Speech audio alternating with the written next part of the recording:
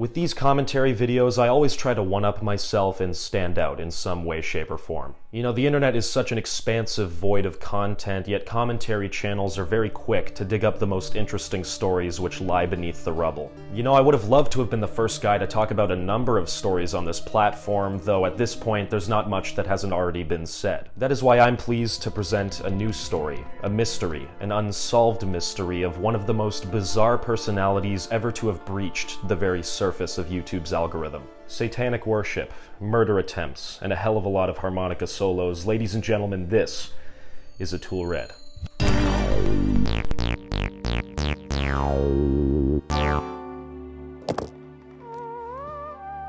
Let's start simple. I want you to watch this video.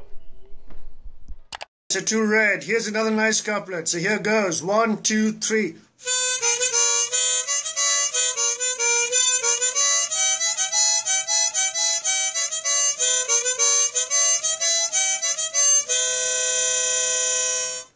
Money Mooney, Mooney Money, Money Maker, Money Sucker, oh what a way. Money Maker, Hard Worker, that's the right way. Mooney, Money, Money Mooney.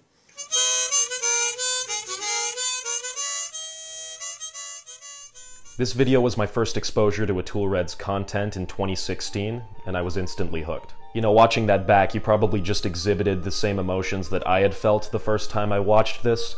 What began as confusion turned into hysterical laughter and then finally ended with a sense of worry. Look, I don't blame you if you felt that way. This guy looks like a Charlie Brown Snape fever dream. The harmonica solos, backlighting, and lyrics are all ridiculous, not to mention the fact that he says his own name and then copyright at the end of it.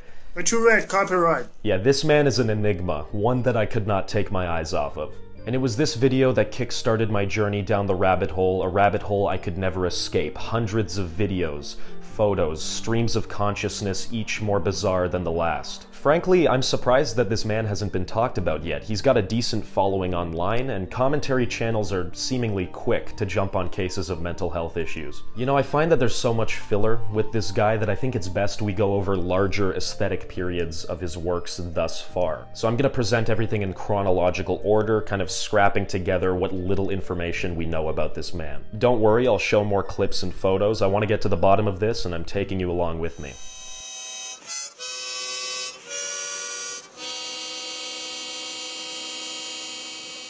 Let's start from the beginning. Our story, like most, begins during childhood. Atul Red hails from the city of Noida in India. I make this guess because Noida appears several times throughout his videos, not to mention that on his website he just puts his address there, so I think it's a pretty safe assumption to make. Quick thing about this whole situation, Atul Red keeps everything in the public eye. He's got like three phone numbers you can call, he gives out his email address, we know his actual address. If you want to find this guy, you definitely can. That being said, don't harass the guy. I mean, his home life is bad enough as is, he doesn't need that extra little bit of annoyance in his day. Anyway, let's get back to it. According to his now taken down website, atulred.name, quote, Atul is the eldest child of the family. His father was a military general, General Krishan Lal, Chief Diplomat 1. Qualifications Double M Tech Control Engineering Computers, Advanced Missiles Radar, and Telecom. Was called the Giant Robot by his fellow officers. Atul Red's mother, Nirmal Kumari Lal, was a highly sophisticated lady masters in music literature and journalism. The rest of the family members, too, have been very challenging and famous personalities. End quote. Assuming what he says is true, there are quite a few things to dissect within this paragraph. First and foremost, we know with the opening line that he has at least one sibling. He's the eldest, after all. Now, there are no known photos of these siblings, at least that I could find, though I'll tell you right now there are at least two, and they will come back in a very big way. Next are his parents, who, aside from being shown once or twice by his son online, are practically off the face of the internet. So I couldn't find anything on his mom's degrees, though there was a paragraph on the website that said she was, quote, the daughter of an educationist who was responsible for the education of royal institutions. His dad's position in the military is also quite a mystery. I have yet to confirm either his dates of service or his ranking. That being said, the website does say that he was, quote, the son of a lance cop in the British Army. I think that's pretty interesting. You know, based on Atul Red's manic behavior thus far, I don't know if either of these claims are true. That being said, his parents' jobs are something that I don't think he would need to or want to lie about, so I'll, I'll believe him on this one. Doing a quick search of Major General K. Lal, though, yields a very interesting story, one of an officer discharged from the Indian military on account of sexual harassment charges of a fellow female officer. Here's a news report from the time. In perhaps the first instance of its kind, a Major General of the Indian Army will be dismissed from service next week for harassing a woman officer. An Army court-martial has found Major General A.K. Lal guilty of sexually harassing a lady captain. Now, his dismissal is subject to confirmation by the Army headquarters and the Defence Ministry. Major General Lal was heading the Leh-based 3 Infantry Division last year when a lady captain complained. Now that general was immediately removed from his post and he was kept confined to army formations, first at Srinagar and then at Bhatinda in Punjab. Now, we have a mystery man, a criminal. I can't conclusively say that this is Atul Red's father, though. Let's look at what we know. The names aren't exactly the same, and as well, the broadcast doesn't actually show a photo that we can compare to our known photo of Atul Red's father. I did find a different article which did show a photo, and aside from the mustache, there isn't really any similarity between our two people. That being said, doing a quick dive into Atul Red's YouTube channel does yield this photo, which gives us a name. It's not his father's name, though. His father's named Krishan, not Kumar. Actually, now that I'm thinking about it, the name Atul would explain where Atul Red comes from. I guess that's his name. So let me get this straight. Atul Red, his father, and I guess this criminal guy are all named A.K. Lal. Who knows? This could be a coincidence. Three guys running around India with the same name is not that much of a stretch, considering the country has billions of people running around. As well, I'm still not convinced of the likeness issue, so you know what? For now, we're gonna scrap that case. I'm just presenting every little bit of data I can find. If you guys find any connections there, let me know. So I'm looking into the Atul Red father situation, as one does, and I find this article that says another Major General A.K. Lal got life in prison in a 24 year old fake encounter case.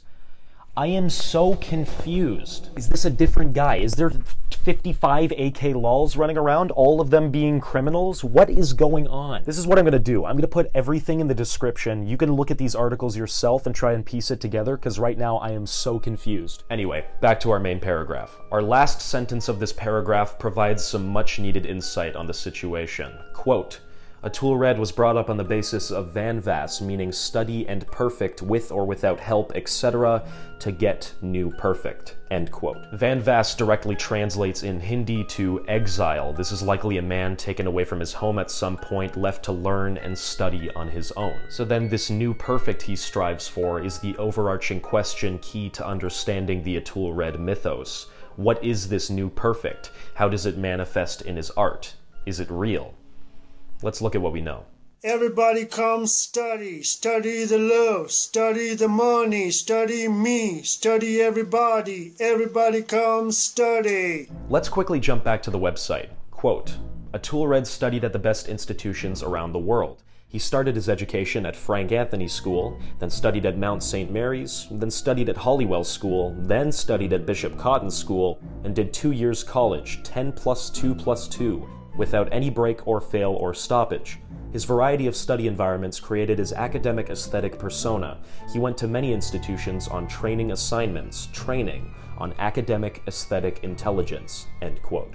From this paragraph, we know he jumped around schools quite a bit, and that could be for a multitude of reasons, the most plausible of which include one, some schools don't offer every single grade. Oftentimes, you'll have to switch at a certain milestone year, perhaps grade 6, grade 8, something like that. So maybe he did that a few times. Number two, he could have unfortunately been bullied, and that could have resulted in his life in exile that was mentioned before. Number three, maybe he could have been gifted, forced to switch around schools in search of a challenge, in search of whatever training assignments or academic aesthetic intelligence is more on that later. One thing we can infer, though, is that Atul Red must have enjoyed his time as an academic because he began to teach. If we take a look at his first two YouTube videos, we actually are able to make this connection. Take a look.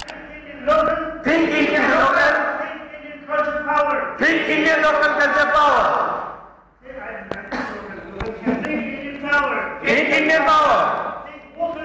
Think local Indian. Local Indian.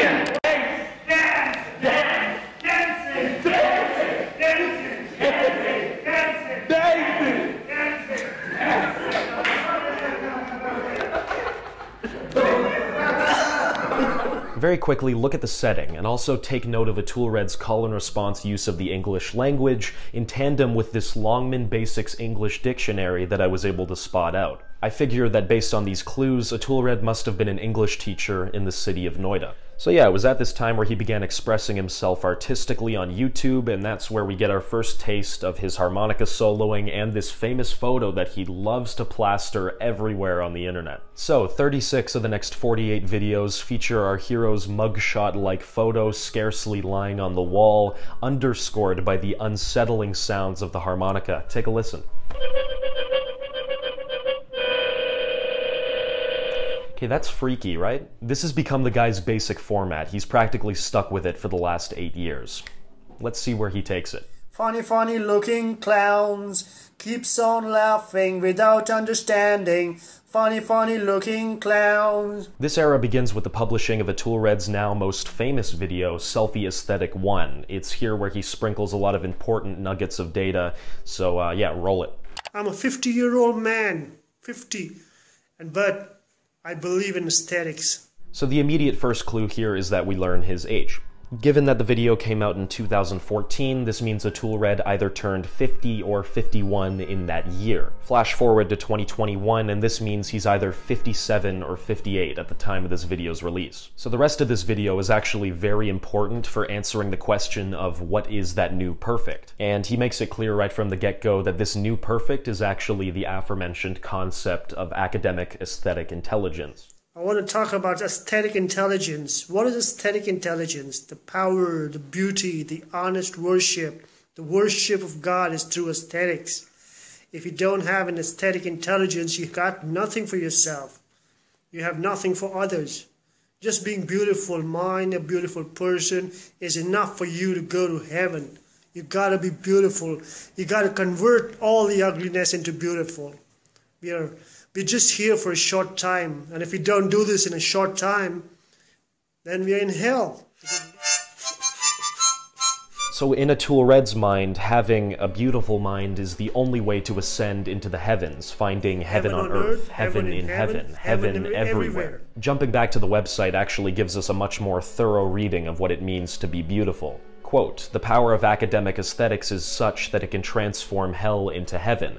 Academics has been the principal source of progress of humans, but as we observe today, there are lots of creations, but the aesthetic factor is missing. The next step is academic aesthetics. It is a subject invented by Atulred to harness the academic aesthetic ability of the young minds who want to express themselves in the best way possible. Atulred would like the like-minded to come together for this amazing project. End quote. This is the way I see it. Atulred envisions envisions a utopia, one in which its inhabitants find beauty in the mundane.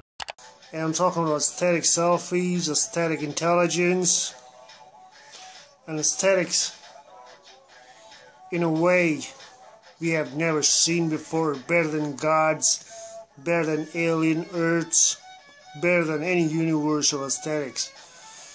Atul Red's aesthetics.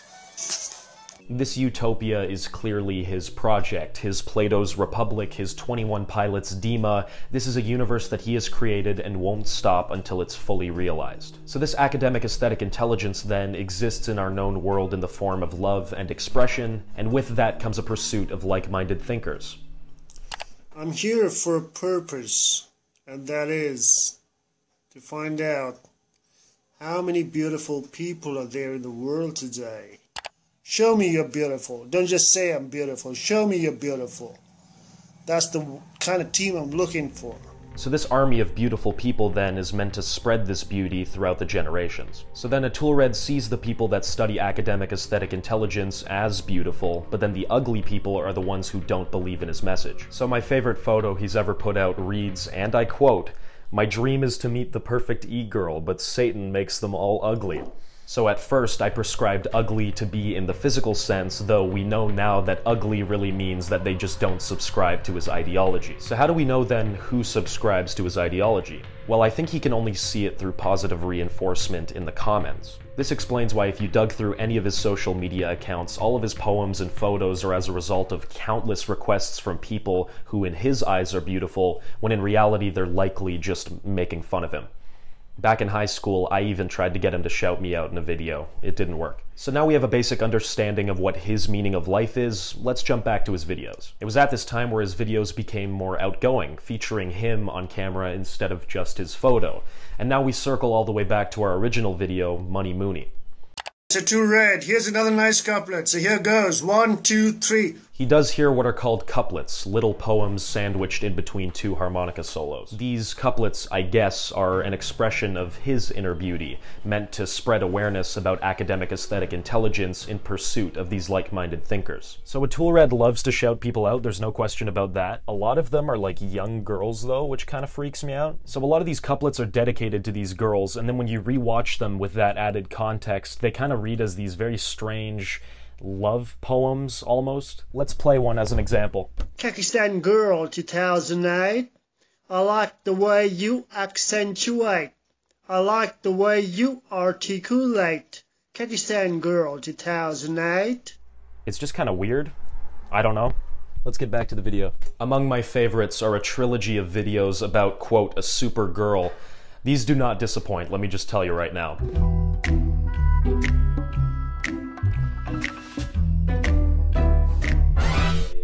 Super, super girl. Wait, what did you want me to say? I I I need you you you. Okay, f- man. You know, every now and then he'll switch up the instrumentation or camera setup, which is something I can definitely appreciate. Do you love me? Do you love me? Do you love me? Do you love me? Do you love me? Do you love me? Do you love me? Do you Okay, love this guy is unreal. Perfect people, perfect people, perfect people, perfect people. Like all creative endeavors of the internet, versatility within the bounds of a unique style is key. Atul Red here keeps his couplet format strong, though he switches the visual focus to an exploration of the minimalist. Couplets are now accompanied by still images, most of the time being either his iconic standing pose or weird cryptic clip art and drawings with his name on it. Gotta catch a train, catch you later, gotta catch a train. He also began experimenting with vocal effects, mostly pitch and reverb. This is the perfect time. Okay, we don't need to listen to this. A string of six videos during this era would eventually lead to a year long hiatus from the platform. These videos are 10 minute long rants about, you guessed it, terrorism of all things, a major problem in which this man, Atul Red, has a solution to. The minimalist era abruptly ends with a video titled We Are All Killers, and in this video he opens with the following. Here's another song, but this is the last song I'm singing. If the terrorist problem does not get solved in my lifetime, I will s- never sing again. This video was published April of 2017. He would not return until March of the next year. Why are we? Why are we? Why are we? So I guess the terrorist crisis must be over, or maybe he just needs some money. Either way, Atul Red is back, people. I think I'll stick with the latter. All over his website and couplets and whatnot are very explicit requests for money. He even coined a term called perfect money protocols, which there may be some significance there, but I doubt it goes anywhere beyond, oh, I need money, give me money. So clearly this guy doesn't have a lot of money, and it was at this time where a full-on spiritual awakening occurred in our protagonist, enough so that the very concept of spirituality now drives his work. In his first video back from his hiatus, Atul Red looks up to a higher power for help. Oh God, oh God, tell me what to do now, God. Oh God, oh God. The following 95 videos are among the most manic and sporadic to date. We're given glimpses into his surrounding environment, seemingly run down and full of garbage. It seems as well that he's checked himself into a neuropsychiatric rehabilitation clinic. We're also shown plenty of satanic imagery, lots of sixes, and mentions of the devil by name. The most interesting video comes early in this era. It's a confusing accusation of, get this, a murder attempt on Atul Red. So I dug for more info about this, obviously, and turns out while in the minimalist era, Atul Red had been posting several photos and videos about this supposed murder attempt on his other accounts. And get this, his younger brother, his younger sister, and her separated husband are the ones that are allegedly seeking his blood. I told you they'd come back in a big way. Like, take a look at some of these videos. They're actually kind of disturbing.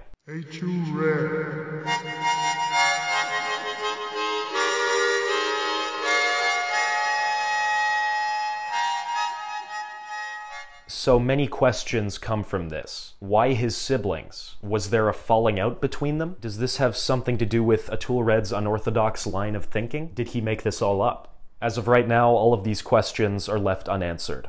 In the jungle, the alien jungle, the alien sleeps tonight.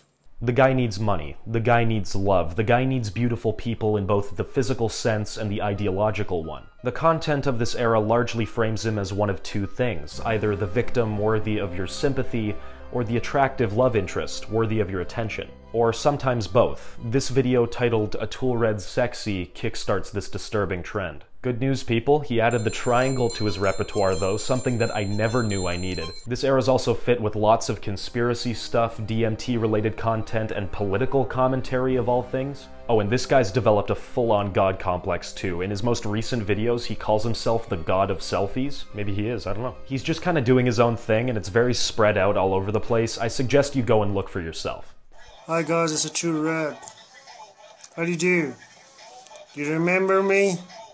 Here is our final summary. Atul Red, born in 1964 with the name Atul Kumar Lal, is from the city of Noida in India. His mother, Nirmal Kumari Lal, is a master's in music literature and journalism, and his father, Krishan Lal, may or may not be a military criminal. We don't know. Regardless, both have since passed away, leaving Atul Red and his two siblings to carry on. Atul's manic and worrisome behavior is a product of a broken home. Likely at some point there was a falling out between him and his siblings, and now his siblings allegedly seek his blood. By definition, Atul Red should see his siblings as having ugly minds, ones that do not believe in his aesthetic outlook on life and what comes after. As a cry for help, he turned to teaching as a way to spread his message around the world. This is in the hopes of creating a community of beautiful people, bountiful in love and expression, able to pass this message down across the generations. Though his hair is now gray, Atul Red continues to post regularly, and though his website has been taken down, he continues to ask his supporters for money. I have no way to prove this, I don't have any video evidence, but you're just gonna have to take my word for it. I was actually able to call Atul Red many years ago. So the guy had three numbers on his website, and we checked what time it was in India then, and it was like 3.30 in the morning, like prime time to be asleep. So, you know, we figured, oh, he's probably not gonna answer, he's asleep, you know, whatever. We pick the first number, we try calling it, and I kid you not, within half a ring, he goes, Hi, it's Atul Red. Of course, we weren't filming at the time. We didn't think the guy was going to answer. And what are you supposed to say to that? Oh, hi, Mr. Red. Nice to meet you. What? So that's what happened. We kind of froze up, and, you know, like, I, I just couldn't believe he answered. Believe me, I tried to get a hold of him by phone, by email, by Skype even for this video. I wanted to get an interview with the guy. Unfortunately, I couldn't get a hold of him. I'm gonna keep trying though. I will keep trying. I'm gonna keep fighting for it. Let's hope for a part two where I can actually interview the guy and maybe get some clarity on some of these points. And that, my friends, is the Atul Red story. Thanks, yeah. There's probably quite a few pieces I'm missing here, like the fact that he very well could be a racist and a homophobe and a sexist. I'm just gonna flash 20 photos here. Some of these are pretty questionable. There's not really a thesis to this video, it's more so my own cry for help. People, we've got a mystery on our hands, and I've only given you the initial background. There are so many unanswered questions that come from this. Did his dad commit that crime? Did he forge these murder attempt photos in a last-ditch effort for relevancy or for money? Is there a more sinister agenda behind this all? Is he a genius? Is he crazy? I'll let you know once the terrorist crisis is over. Sicky Nudz, copyright.